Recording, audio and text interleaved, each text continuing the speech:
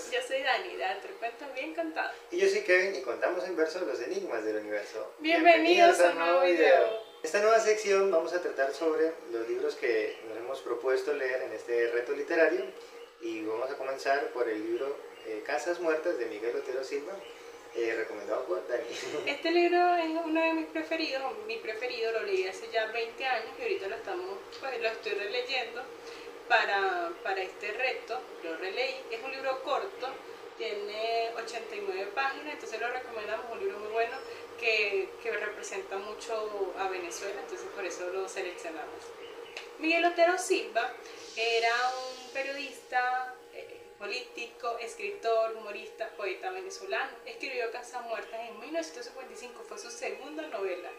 Es un autor muy reconocido en el ámbito latinoamericano pues por su estilo, por la forma como describe al país, a Venezuela y lo que ocurre pues en ese momento, en esa época. Eh, también destacado pues por eh, sus poemas y también por otras eh, obras como Oficina número uno. Oficina número uno. Y Fiebre la escribió en el exilio. En el exilio. Entonces él le tocó que salir o ir del país precisamente por la dictadura de Juan Vicente Gómez que había en ese momento. Casas Muertas trata de la historia de un final, de un pueblo que se termina. Es muy bonito el prólogo que hizo Carlos Pacheco. Creo que es Carlos Pacheco, me disculpo si no es el porque no recuerdo exactamente el prólogo que leí, pero recuerdo lo que decía, recuerdo que decía que todo era, toda ella era la historia de algo que se acaba, de algo que termina. No sé si se acuerdan cómo inicia. Ajá, pero eh, hay una ciudad que es precisamente el, el lugar que escoge Miguel Otero Silva para describir toda esta historia, que es Ortiz, ¿cierto? Ortiz, Ortiz queda, es un pueblo, no es ciudad, sí, ciudad, sino un pueblo que, queda, que queda en Guárico.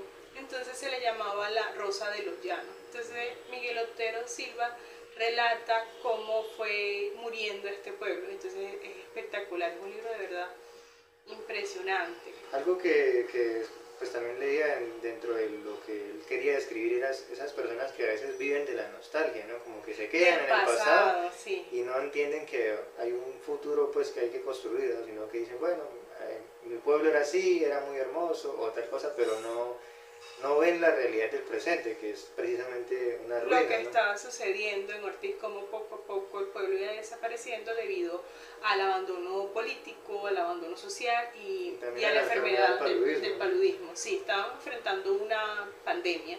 Entonces es un libro que es atemporal, que uno lo lee y siente que está leyendo la historia actual de Venezuela. y es, sí, es triste, pero al mismo tiempo eh, te asombra, ¿verdad? No, y es como la historia como se repite, es como los ciclos que viven nuestras naciones, ¿no? También, por eso es que es tan eh, resaltable este libro. Miguel Otero Silva inicia la novela diciendo, esa mañana enterraron a Sebastián. Entonces ya uno cuando inicia la novela sabe que Sebastián fallece. fallece. Entonces lo, lo relaciono mucho con una entrevista que dio Gabo en su momento de Crónica de una muerte anunciada, de la muerte de Santiago Salazar, que los dos nombres largos empiezan por ese, y que él dice, bueno, Santiago va a morir, pero la gente no sabe cómo, ni él en ese momento, pues obviamente sí, pero nosotros los lectores no sabíamos cómo iba a fallecer y nos mantiene la historia viendo qué sucede. Entonces, la historia de Casas Muertas inicia con eso, con un final, y tú decides si te quedas para continuar leyendo ese triste final de, de la muerte de, de, Sebastián. Y eso atrapa realmente, porque atrapa es una forma de escribir como precisamente eso, el, truco, por decirlo así, que... que, ya te di conté el final. Ajá, que apuestan los... Bien, eh, bueno, y hablando un poco acerca de los personajes de esta eh, obra, eh, ¿puedes contarnos un poquito sobre ellos? Listo. Pues los personajes están... ¿Quién era la protagonista? Sí, la protagonista era Carmen Rosa, que es la, la principal ella va, seguimos su vida, seguimos sus recuerdos, su niñez. Muy interesante porque cuando Carmen Rosa todavía estaba niña no estaba tan destruido Ortiz, que es como lo que nos pasa a los, a los que estamos, los migrantes venezolanos actualmente. Recordamos una infancia tal vez bonita, tranquila, y ya tenemos más de 20 años viviendo otra situación. Entonces lo mismo le sucede a Carmen Rosa en la historia. Vemos como su recuerdo de la niñez, como Ortiz era un pueblo tan lindo y como poco a poco se va acabando. acabando. Y sobre todo por la enfermedad que hablamos ahorita. Del paludismo, hematuria. También la historia, no sé si te acuerdas, que, que cuenta mucho la niñez de Carmen Rosa.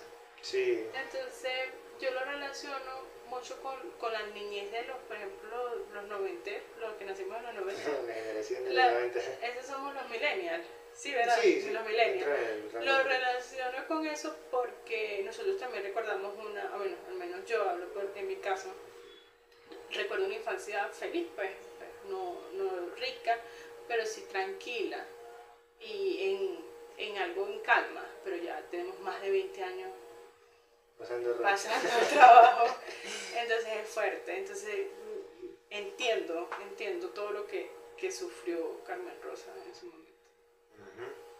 Este reto, Kevin y yo decidimos hacer un diario de lectura. Aquí tengo esta libreta, esta libreta me la regaló mi amigo Diego ya hace muchos años. Y en su portada tiene una frase. Un poema, porque pues precisamente Miguel Otero Silva, aparte pues, de ser escritor, también era, un gran poeta. Entonces lo relacionamos un poquito, pero bueno, igual el, libro no va a tener solamente lo de Casa Muerta, sino todo lo que podamos leer este año. Dice, y en la flor fugaz del momento, buscar el aroma perdido y en un deleite sin pensamiento hallar la clave del olvido. Porfirio Barba Jacob, es un poeta de Santa Rosa de Osos de acá, un poquito de Antioquia. Y decidimos acá en, la, en esta parte, vamos a colocar la, los stickers de nuestros amigos viajeros. Ellos son de coincidir sin prisa y de combinatura que pueden seguir sus aventuras en Instagram, porque creo que no tienen YouTube, ¿verdad? Y por acá les voy a leer un fragmentico pequeño de precisamente de Casas Muertas, para que se vayan antojados. Yo no vi las casas, ni vi las ruinas, yo solo vi las llagas de los hombres. Se están derrumbando como las casas, como el país en el que nacimos. No es posible soportar más. A este país se lo han cogido cuatro bárbaros, veinte bárbaros a punta de lanza y látigo. Se necesita no ser hombre, estar castrado como los bueyes, para quedarse callado, resignado y conforme como si uno estuviera de acuerdo, como si uno fuera cómplice. Miguel Otero Por acá en el diario decidimos colocar el nombre del país, la, la banderita, el nombre de la novela o de la obra que estemos leyendo, la cantidad de páginas, el género al que corresponde, la fecha en la que fue publicada, no sé si lo mencionamos, pero fue en 1955. Y alguna frase o también pues lo estamos todavía personalizando, no es que tenemos como mucha idea de cómo... Está. Todavía no está listo. Porque también vamos a poner la portada del, del libro. Entonces hay una frase que me gustó mucho, que dice, que le hizo Legario a Carmen Rosa, la acompaño en el sentimiento. Me parece, me parece una forma muy linda de dar el pésame, porque nosotros generalmente no sabemos qué decir en ese momento. Sí, es un momento difícil. Eh, sí, es un momento muy doloroso. Entonces, que, que alguien te diga, te acompaño en el sentimiento, me parece como, como más bonito que lo siento. Al menos prácticamente no es bonito. Es más lindo, ¿verdad? Es como que pues sientes la compañía en el dolor. También hay otra parte del, libro que es casi que iniciando que dice, una casa muerta entre mil casas muertas, mascullando el mensaje desesperado de una época desaparecida. Entonces, pues ahí los dejamos antojados si les gustó pues lo que le comentamos tratamos de, de, ser como lo más conciso y no y no decir muchos spoilers pero hermosa la novela. Una de las cosas que creo que no mencionamos fue que que Carmen Rosa la novela ella insistía mucho en construir su, el jardín. Eh, mientras a su alrededor todo se derrumbaba ella como que ponía todos sus esfuerzos en el jardín, el jardín. y se menciona mucho el cotoperí entonces, bueno, por aquí voy a tratar de ir colocando imágenes así de lo que voy a familiarizarlo, para familiarizarlo con eso, pues, porque pues yo no estaba familiarizada con árbol de cotoperia. Bueno, ya estamos llegando al final del video, espero que les haya gustado. Es difícil grabar porque hay mucho ruido, perro, ventas, carros, motos. Por aquí es una parte muy transitada, ustedes entenderán. Sí, les pedimos disculpas, ojalá en otras oportunidades que grabemos nuestras impresiones de los libros sean más tranquilos. más calmados. más calmado. ¿Qué, ¿Qué, ibas a decir? Que no bueno, les iba a dejar como también como tareita eh, que nos apoyen con recomendaciones de otras obras literarias de Venezuela, pues porque estamos primero con este país. Ya después cuando vengamos con otros países, pues dejamos, seguimos con este trending. Sí, conocidas, está Canaima, está, pues obviamente la más famosa a nivel mundial, Doña Bárbara. Sé que es como que el, el, que siempre recomienda, la más importante tal vez. Pero también puede haber eh, literatura que no conozcamos, ¿no? Que no conozcamos. Reciente me, me gustaría la literatura reciente, porque de verdad no he leído a, pues, escritores recientes de Venezuela. Y me gustaría también mujeres, si nos lo puedes recomendar, que mujeres han, escrito libros. Agradecemos su atención y nos vemos en una próxima ocasión. No sin antes recordarles con pensamientos sinceros que todos somos en esta vida afortunados, pasajeros.